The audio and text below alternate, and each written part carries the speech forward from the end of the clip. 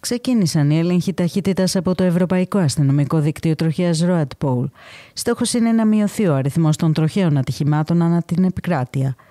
Με την έναρξη του μαραθώνου ελέγχων της καλοκαιρινής περίοδου, αυξάνονται τα ραντάρ ταχύτητας στους δρόμους στις ευρωπαϊκές χώρες που συμμετέχουν στην εκστρατεία αυτή, στο πλαίσιο μιας προσπάθειας να σταματήσουν οι οδηγοί να αναπτύσσουν επικίνδυνες ταχύτητες, που είναι και ο βασικότερος λόγος που προκύπτουν τα ατυχήματα.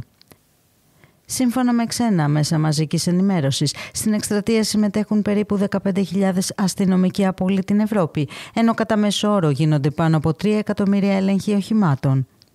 Μάλιστα, στο περσινό καλοκαιρινό έλεγχο που είχε γίνει για τον ίδιο λόγο, σημειώθηκαν πάνω από 650.000 παραβάσεις υπερβολικής ταχύτητας σε όλη την Ευρώπη. Η τροχιά τονίζει πόσο σημαντική είναι αυτή η εκστρατεία για την ευαισθητοποίηση των οδηγών.